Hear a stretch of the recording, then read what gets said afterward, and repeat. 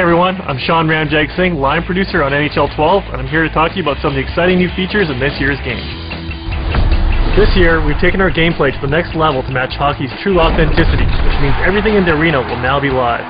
With our brand new full contact engine, you'll be able to make bone-crushing hits that shatter the glass, knock players into the bench, pop helmets off, and create massive collisions with other players. The world for goalies just got a lot tougher, Goalies are now live, where players can now crash the crease, even knocking the net off its mooring. Goalies will also have to deal with players jostling in front of the net for position, and fight through screens to see the puck. Getting position in front of the net is an important way to generate offense.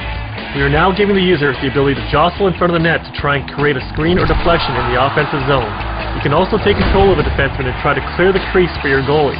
Bigger players will use their size and strength to try and dominate down low, while smaller players will have to try and spin off their checks to create scoring opportunities. Goalies this year are going to be much more live and dynamic. To be authentic to the game, goalies are going to react to players crashing the crease.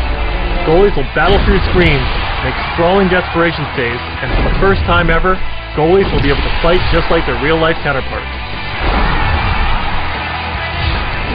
You asked for it, you got it. This year, we'll be featuring the NHL Winter Classic at Heinz Field in Pittsburgh. The Winter Classic is considered the NHL's main event and is traditionally hosted on New Year's Day. You'll be able to play at this outdoor venue with your favorite teams while battling hostile weather conditions.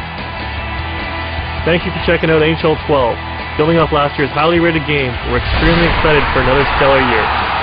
Lace up those skates and we'll see you on the ice. We also have a huge announcement coming up, so keep following us on Facebook and Twitter for more information on NHL 12.